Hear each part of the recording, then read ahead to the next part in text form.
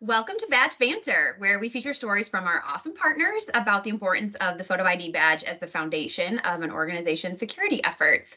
I'm Lindsay Martin-Nez from BadgePass, and I'm really excited to introduce today's guest and one of my good friends, Shannon Riordan from AAMSCO. Welcome, Shannon. Thank you so much for being here. Thank you for inviting me. Well, before you share your story with us today, why don't you go ahead and tell us just a little bit about AAMSCO and your role there? So AAMSCO, we are 45 years old and we are based in Little Rock, Arkansas, and we serve most of the state with ID badging and security needs. I've been with AAMSCO for 16 years um, and have grown up in this industry much like Lindsay has. So we've, uh, we've I've slowly moved up to vice president and been in sales for my entire career thus far.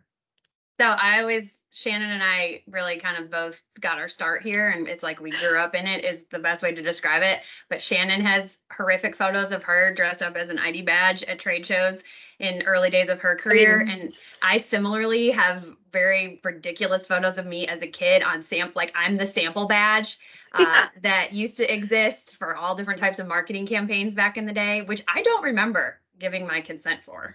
So yeah, I, I no we could we could roll these pictures in with the credits from this week's episode right or something we should find those for sure i know i, so. I know where they are so i know where my mom has stored all of these and i think that one of them is posted here at the office so we can find those easily I like it. I like a throwback. So, uh, this series is really dedicated to talking about the importance of photo ID. And I don't just mean photo IDs like throwback IDs where our photos are on them uh, as sample badges, but really more importantly, photo IDs and how organizations use them. So, Shannon, why don't you kind of dive into your story and how uh, organizations or facilities in your area have benefited from the use of photo ID?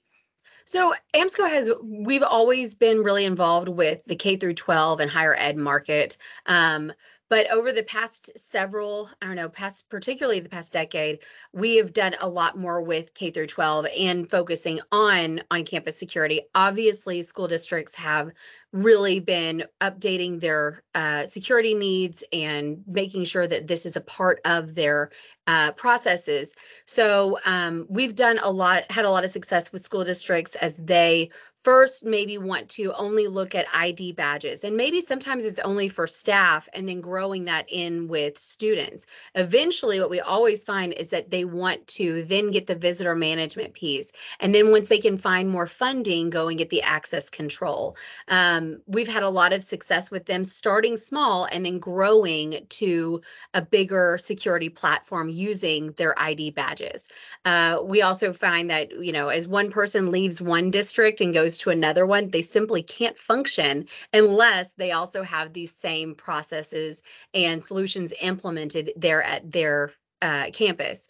So um, a lot of our districts are doing are, are, using grant funds that they've been able to find and um, use the, that to do big projects, particularly if it's a small rural district and they'll never get the millage to help afford a solution like this. Um, and then we've also done some with ESSER funds or the um, the COVID money. So we've just seen several different ways that they're able to get there, regardless of the size of the district, that we can usually help them find some funds for that.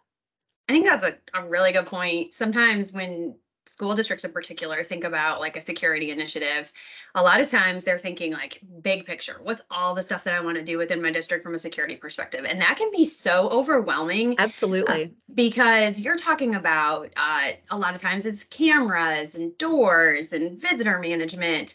And when you're able to go in and talk to them like you're saying and you can say all right let's start with the photo id let's make that the foundation the foundation of everything that you're going to do here. And as long as everybody's got a badge then ultimately we can enable them to do stuff with that badge as we add those applications.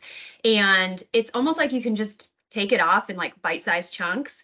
Right. and it helps make everything so much easier to digest. And then of course like they can find funding as it becomes available.